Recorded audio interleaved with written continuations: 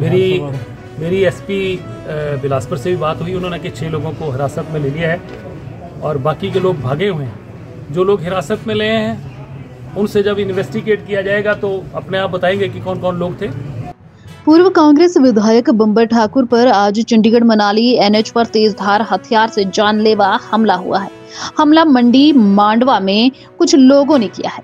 हमले में घायल हुए बम्बर ठाकुर क्षेत्रीय अस्पताल बिलासपुर में उपचाराधीन हैं। इस बीच बम्बर ठाकुर को देखने के लिए कांग्रेस के नाराज़ विधायक राजेंद्र राणा पहुँचे। राणा ने क्या कहा? देखें ये रिपोर्ट। और अ, कल शनिवार है। संडे तक हम पूरी रिपोर्ट लेंगे। अगर पुलिस की कार्रवाई में कोई भी थोड़ी बहुत भी कोई कुताही रही तो सोमवार को विधानसभा मामला उठाएँगे और मैं व्यक्तिगत तौर पर उठाने वाला हूँ, जब मैं व्यक्तिगत तौर पर आके मिल के जा रहा हूँ। चुनाव क्षेत्र में कार्यक्रम में व्यस्त था। और जैसे ही मुझे पता लगा कि ऐसी ऐसी घटना घटी है कि हमारे पूर्व में विधायक रहे, वर्तमान में अभी पीछे हाल ही में उन्होंने चुनाव लड़ा।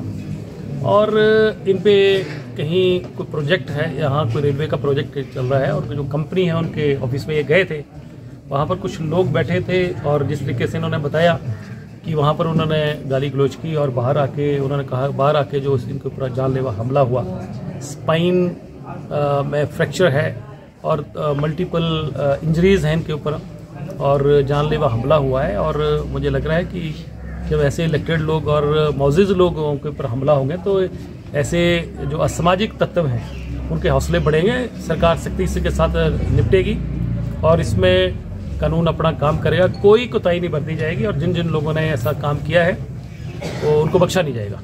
चाहे वो कोई भी हो आ, उनको बिल्कुल जो है सख्ती से निपटा जाएगा। मेरी मेरी एसपी बिलासपुर से भी बात हुई उन्होंने कि छः लोगों को हिरासत में ले लिया है और बाकी के लोग भागे हुए हैं। जो लोग हिरासत में ले हैं उनसे जब इन्वेस्टिगेट किया जाएगा तो अपने आप बताएँगे कि कौन कौन लोग थे।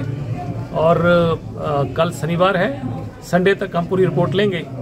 अगर, पुलिस की कार्रवाई में कोई भी, थोड़ी बहुत भी कोई कुताही रही तो सोमवार को विधानसभा मामला उठाएँगे। और मैं व्यक्तिगत तौर पर उठाने वाला हूँ, जब मैं व्यक्तिगत तौर पर आके मिल के जा रहा हूँ तो इस मामले को उठाया जाएगा। परंतु उससे पहले पहले पुलिस, मुझे लग रहा है कि ठीक कार्रवाई करती है, लोगों को अरेस्ट करती है, और सख्ती से निपटती है तो ठीक है। अन्यथा विधानसभा मामला इसलिए उठाया जाता है कि जब कोई कार्रवाई ना हो। अगर कार्रवाई पुलिस करेगी तो उठाने का विषय नहीं होता है पुलिस को ऐसे मामलों में चाहे इनके ऊपर हमला हुआ है चाहे किसी और के ऊपर हुआ है समाज में हिमाचल प्रदेश बहुत ही पीसफुल स्टेट है और एक पीसफुल स्टेट में अगर ऐसी चीज़ें होंगी तो उन लोगों के साथ सख्ती से निपटना चाहिए चाहे वो कोई भी हो। ठीक है।